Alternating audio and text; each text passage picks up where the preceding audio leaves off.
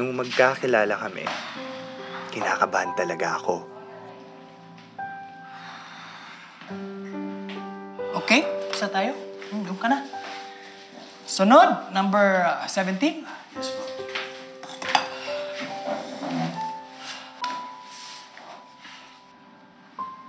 Ah, sandali ha. May kunin lang ako. Sandali. Okay po.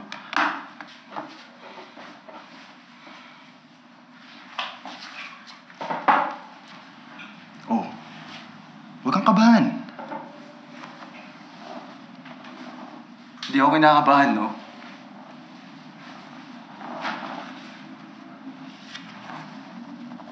Sino favorite singer mo?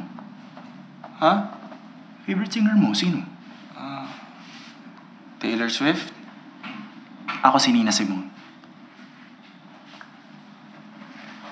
Sino yun? Anyway, pikit mo yung mga mata mo. Tapos take a deep breath. Come on, try it. Okay? Inhale. Exhale. Inhale. Exhale. Last one. Inhale. Exhale. Ngayon, imagine mo na kinakantahan ka ng favorite singer mo na si Taylor Swift. Walang ibang tao. Ikaw lang. You are in an empty place. You own the place. You own the stage. And you feel good. Let's all welcome contestant number 14, Kevin Ligon. Oh, ang gwapo mo kaya. Yung mga gwapong tulad mo, hindi dapat kinakabahan. Bulero ka. Iba yun ang bubola sa nagsasabi ng totoo. Oh, now you owe me. Kapag nanalo ka, libre mo ako ah. Eh, paano pag ikaw yung nanalo? Ayun, pareho kaming talo. Anong talo? Hindi ako natalo. Nanalo kaya ako sa puso mo. Ewan ko sa'yo. Happy anniversary. Ha? Ah,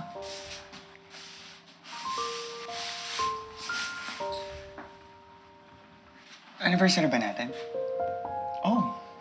Anniversary agad? Di man lang tayo nag-monthsary? Nathan, yung pagse-celebrate ng monthsary, para yan sa mga teenagers na hindi umaasang aabot ng one year yung relationship nila. Kaya nagmamonthsary. Mm, Mm. Ang harsh mo naman. Okay. Kaya anniversary natin ngayon. Mm. Kasi ito yung unang taon natin since nagkita tayo sa pageant. Remember? Kaya yun yung anniversary natin? Hmm. Hindi ba dapat yung anniversary natin nung sinangkot kita? Sinugot mo ba ako? Um, oo nga pala. Hindi mo nga pala ako niligawan. Kalad ka rin kasi ako eh. Sumama kasi ako agad sa'yo eh. Okay. Live with you. Sige, sige. Kung ayaw mo itong date ng anniversary natin, pwede naman natin palitan ng ibang petsa. Pwede nating gawing yung first date natin. O kaya yung first kiss. Hmm. O kaya yung first... Oh! Ah! okay na. Okay na. Anniversary natin ngayon. Happy anniversary. Marami pa tayong anniversaries na isa-celebrate. I never expected na tatagal kami ng tatlong taon. Bakit? Kasi walang ganitong klaseng relasyon na nagtatagal? Di naman. Nagtagal nga tayo ng three years, di ba? Kasi mahal kita. Gagi. Kala mo naman ikaw lang nagmamahal. Mahal din kaya kita. Nathan, nasa labas tayo, ano ba? Eh ano naman kung nasa labas tayo? Third anniversary natin. Boyfriend kita. Sabi mo, mahal mo ko. Pero ni ayaw mo man lang hawakan ko yung kamay mo. Ito yung braso mo, pinagdadamot mo. Kasi nga nasa labas nga tayo. Mamaya, pag uwi natin, bibigay ko sa'yo lahat. Di lang kamay at braso. Hindi ka na nakakatuwa, nakakapi ka na. Three years na nga tayo, pero ni minsan hindi mo man lang ako sinundo sa trabaho. Or binigyan ng flowers in public. Ni hindi mo nga ma-confirm na in a relationship yung status mo. In a relationship with me. Dami-dami nga nating photos together. Hindi ko ma-upload. Hindi kita matag kasi ayaw mo. Hindi kita mabati ng happy anniversary. Yun. Facebook. Yun ang kinakagalit mo. Babaw naman. Mababaw na kung mababaw. Gusto ko lang naman ipagmalaki na may jowa ko. Dahil di naman lahat binibiyayaan ng jowa. Nathan! Pero di ganun si Jeff Ethan! eh.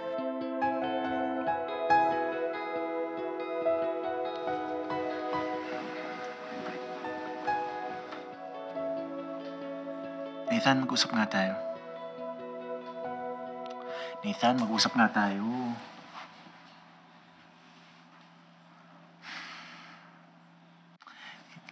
Tatalikod na yan, haharap na siya sa akin, makikipag-usap na.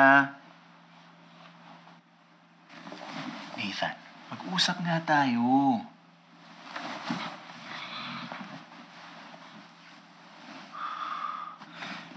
Nathan, alam na ng mga kakilala natin na magkarelasyon tayo. Ano pa bang gusto mo? Araw-araw mag-post ako sa FB na mahal kita? Sinabi ko bang araw-araw? O anong gusto mo? Gayahin natin yung mga kakilala natin na panay ang post sa social media pero maghihiwalay rin pala.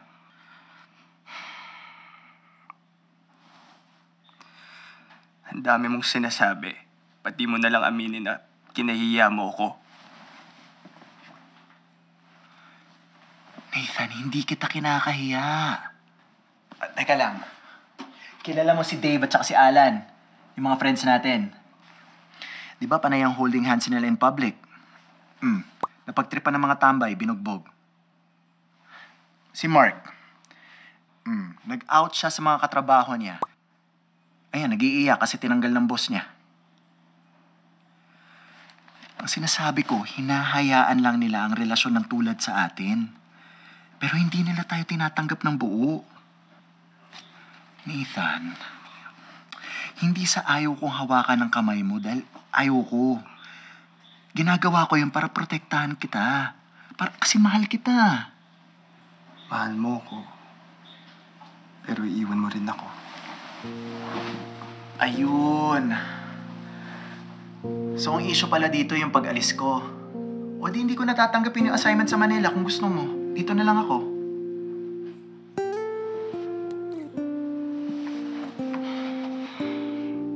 Pag pinigilan kita, mawawala ka trabaho. Magagalit ako sa sarili ko. Pag di naman kita pinigilan, malulungkot ako.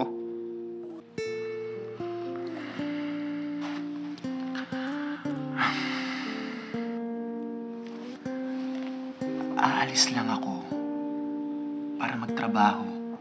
Pero hindi kita iiwan.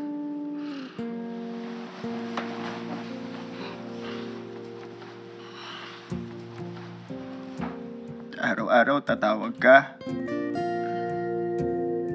Magpo-post ka. Nathan, Hindi ng picture natin or tungkol sa atin. Ng picture mo lang. Para alam ko kung ano na yung itsura mo. Kahit huwag mo na akong itag. Or, sige.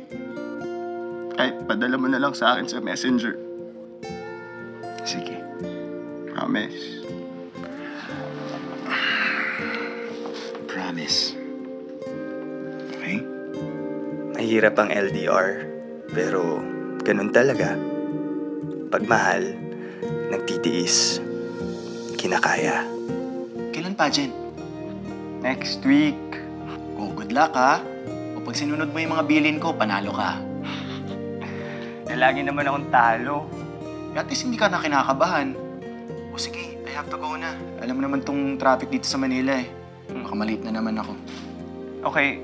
I love... I love you.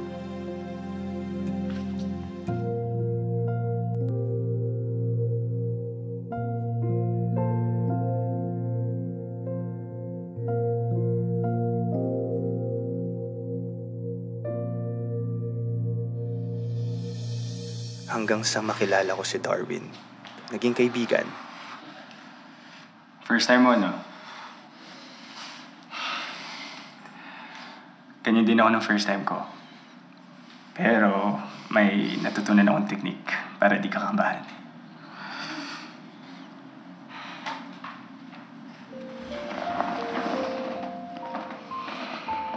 Who's your favorite singer? Na kay Darwin lahat ng hinahanap ko kay Jeff kaya nahulog ang loob ko sa kanya. Nathan! Uy, Nathan! Ba't di mo kinantay? Sabi ko susunduin kita eh. Talaga. Galing pa ako workout. Ah, sorry. Bakit?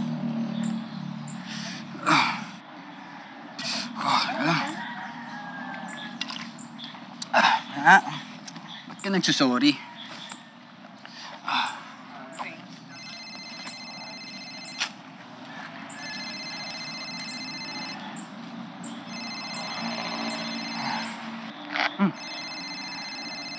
Ba't di mo sagutin? Anong sasabihin ko? Yung totoo. Kasama mo ako. Sira ka ba?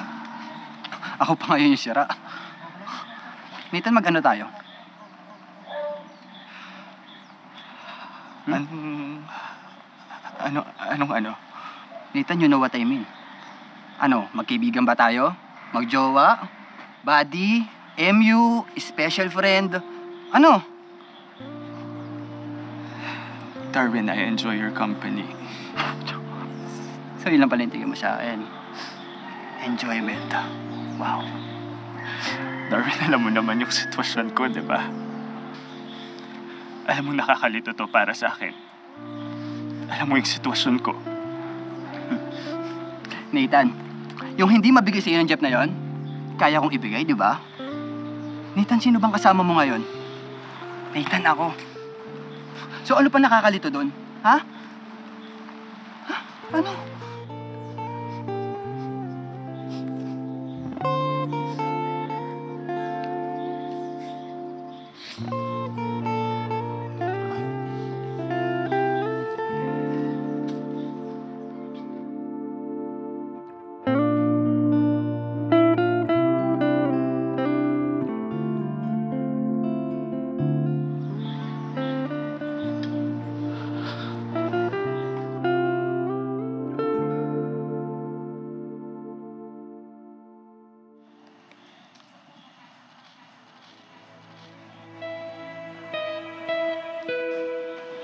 Anong ginagawa mo rito?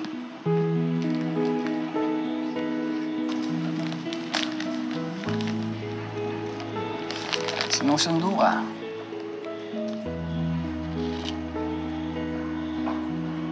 Just want to say sorry. Sorry sa mga nasabi ko sa'yo kagabi.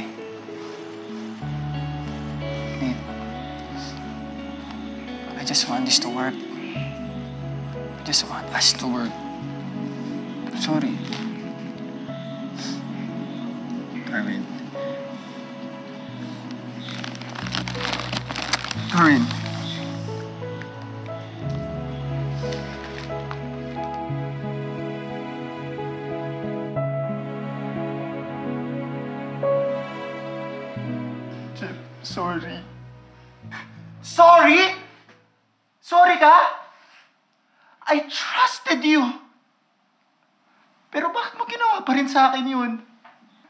Jeff, sorry. Dahil hindi ako nagpo-post ng happy anniversary? O hindi in a relationship ang status ko sa FB? Sagot! Sorry, Jeff. Please, Jeff.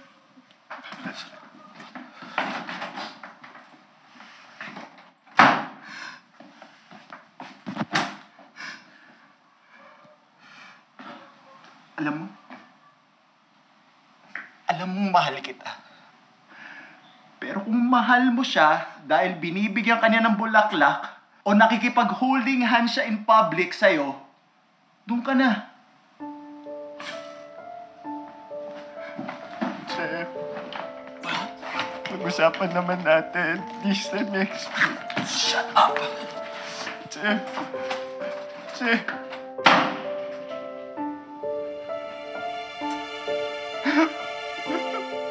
Nung mawala si Jeff, inisip ko yung mga sinabi niya. Kung na kay Darwin ang lahat ng hinahanap ko, si Darwin dapat ang piliin ko.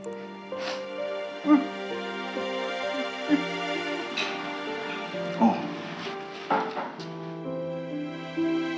Huwag. Inhale. Exhale. Inhale. Exhale. Contestant number 8, Nathan Bandales.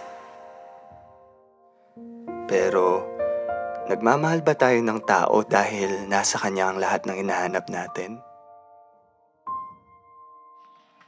Nathan? Chef. Uy, congrats. Nanalo ka rin sa wakas.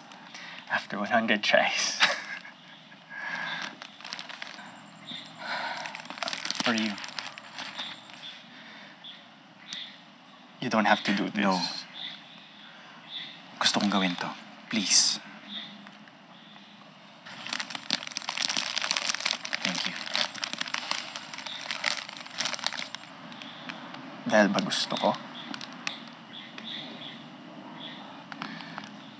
Chef, I'm sorry. Ang tanga-tanga ko. Kung ano-ano yung hinanap ko sa'yo. Pero nung mawala ka, doon ko na-realize na hindi importante yung flowers, yung public display of affection, yung importante, ikaw. Ikaw lang. Kung ano ka, kung sino ka, kung ano kaya mong ibigay. Chef, baka may makakita sa atin. Uy, ano may makakita sa atin? Eh, paano pag binugbog tayo, napagtripan tayo? Ilalaban tayo. Ilalaban kita.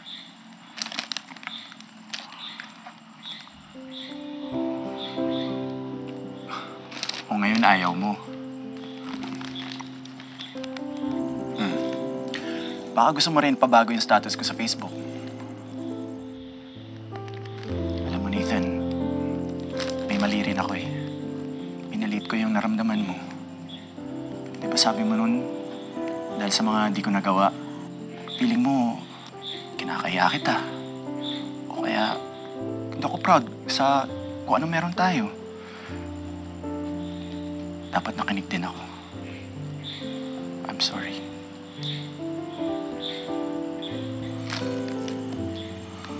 Chef, di na kailangan. No.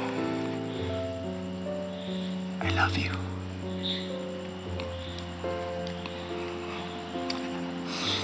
I love you. O hindi tayo dapat naghahanap ng pagkukulang kapag nagmamahal.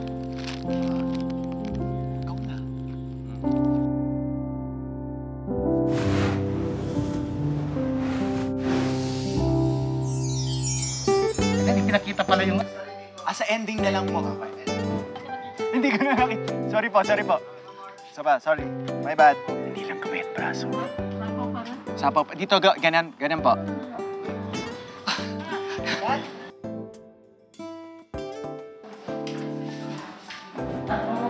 Oops.